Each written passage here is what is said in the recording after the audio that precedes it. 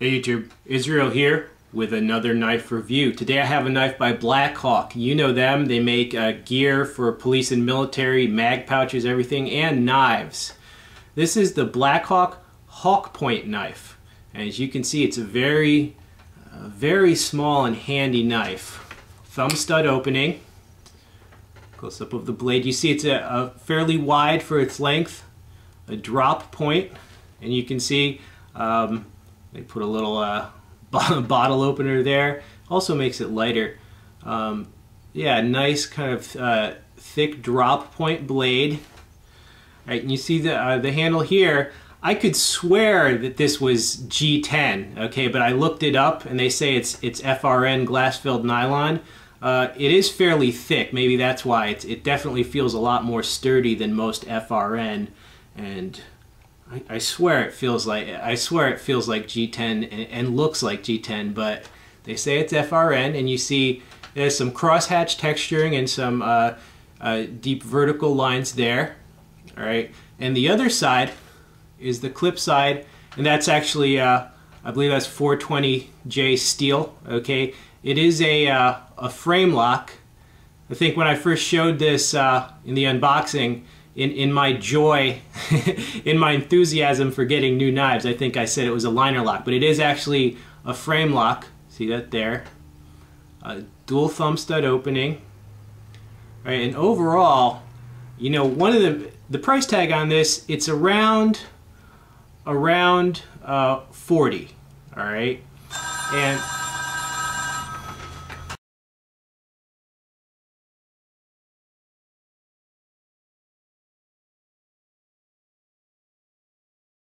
oh wow, YouTube, fucking, uh, fucking telemarketer called me, and uh, you know the conversation, uh, it went something like, "Hello, who the hell is this?" Oh, uh, would you like it if I called you at home? Can I have your home number? Oh no. All right, we'll get to walking, bitch. No, I'm, I'm just kidding. I didn't. I didn't say bitch, but all right. Fucking, you know, no, I don't want to buy any of your crap. All right. Anyway, back to the knife review. I, I wish I could just, uh, you know, find a telemarketer and. All right, all right. I'm, I'm kidding. I'm kidding about that. Okay, so the reason I bought this knife, eh, I wanted to review it for you guys because just just look how it, it's such a handy dandy little thing. And I know you guys, just like me, are crazy about little items of EDC gear. You always want these little, uh, you know, keychain type flashlights and stuff like this. And this would be really useful. You know, obviously it's pretty light and, and uh, slim design, very conventional. And one great thing about this, you know, in my opinion, it looks a lot more like a tool rather than uh, any sort of weapon. You know, it's very short. Let me get the length on this. All right, very uh, all right, the length on this. Okay, it's just. All right, it's it's 2.5 inches, almost exactly 2.5 inches. So if you have like one of those Nazi blade length limits of like has to be shorter than three inches, this will get you under you know whatever city or country limit that is. But um, you know, like as far as police and EMTs and stuff, this item, it looks like a normal item of gear. You know what I'm saying? Like if you had this on your belt, it just looks like another item of gear. It doesn't look like a gigantic bayonet for killing people. Okay, so um, yeah, if you have a in a professional capacity, if you're a technician or something, this is a nice little unobtrusive uh, way to go.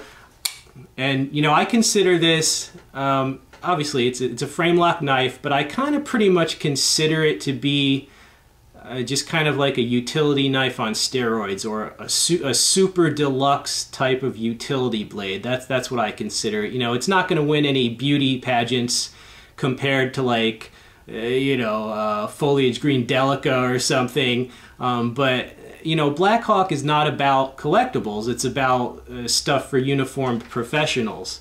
And in that role, uh, I think it's really nice. Um, I haven't seen any other reviews of it, you know, before I bought it.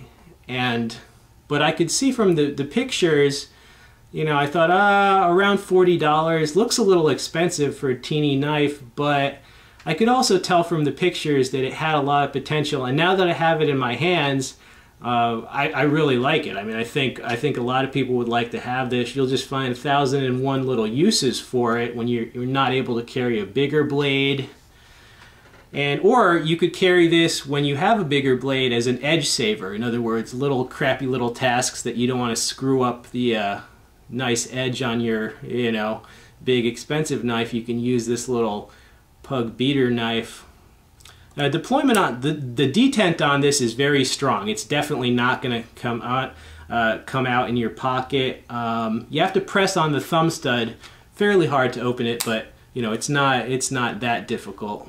But uh, you could you could file down the detent if you really wanted to.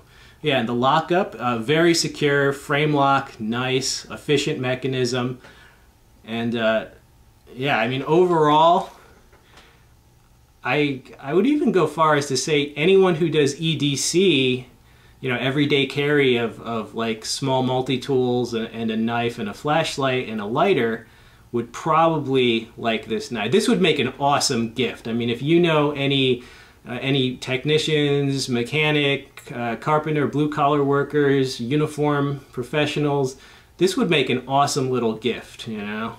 Um, yeah, I think most of my uh, subscribers are the type that would really like to have one of these. And, uh, you know, $40, it's a little bit pricey. I think they should go down to 30 and I think everyone would buy one at 30 But, um, yeah, I do, I do recommend it as a, a nice, uh, a nice small compact utility nice knife, pun intended, a nice knife. Um, the initial sharpness, it, it is pretty sharp, and, and that's a nice amount of belly for such a small knife. Nice amount of belly. So, the Blackhawk HawkPoint. Uh, yes, it is a, a recommended uh, smaller super utility knife. And bam. Alright YouTube, hope you enjoyed this video. This has been Israel. Stay tuned for many more, and I am out. Peace out, dudes.